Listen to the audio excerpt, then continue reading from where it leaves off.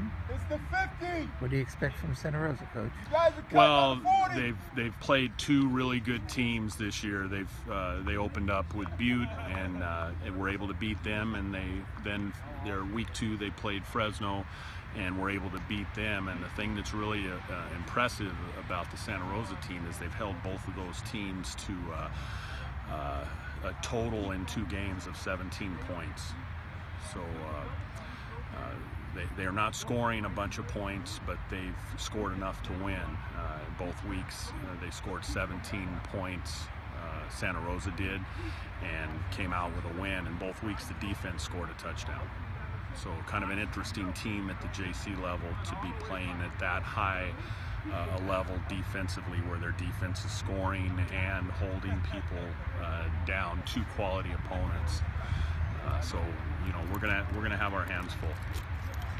What's it going to take? What, what has to go right to beat them? Well, I think uh, you know they're they're playing real confident and real comfortable on the defensive side of the ball.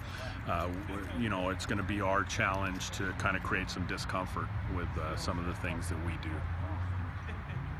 Thank you very much.